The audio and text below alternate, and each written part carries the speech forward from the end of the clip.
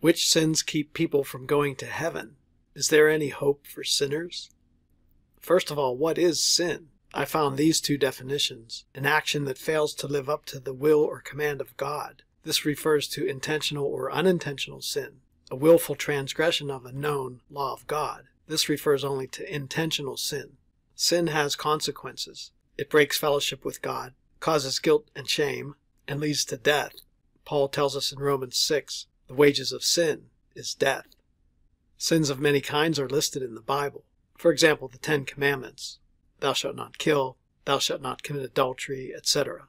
Did you know that the Bible also has lists of specific sins that keep people from going to heaven? Let's examine some of these lists. Galatians 5 says the acts of the sinful nature are obvious sexual immorality, impurity and debauchery, etc. Paul says at the end, those who live like this will not inherit the kingdom of God. There's another list in Ephesians 5. No immoral, impure, or greedy person has any inheritance in the kingdom of Christ or of God. It goes on to say God's wrath comes on those who are disobedient. 1 Corinthians 6 says, Do you not know that the wicked will not inherit the kingdom of God? Do not be deceived, neither the sexually immoral, nor idolaters, nor adulterers, etc., will inherit the kingdom of God. Well, most of us have committed at least one of those sins. So is there any hope for sinners? Yes. Let's continue to the next verse in that same passage. After that whole list of sins, Paul says they will not inherit the kingdom of God. Then verse 11 says, And that is what some of you were. They had committed these sins. It goes on to say, But you were washed, you were sanctified, you were justified in the name of the Lord Jesus Christ and by the Spirit of our God. Their sins were removed by Jesus Christ and his sacrifice.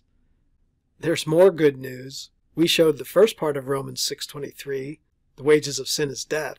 The rest of that verse says, "But the gift of God is eternal life in Christ Jesus our Lord." Jesus not only removed their sins, he gave them eternal life. In summary, we looked at lists of sins that keep people from heaven. There is actually one ultimate sin that keeps people from heaven. That sin is unbelief.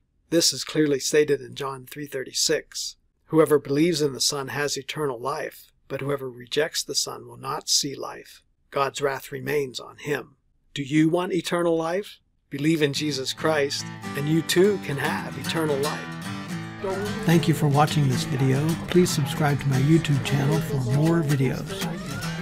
One, two, three.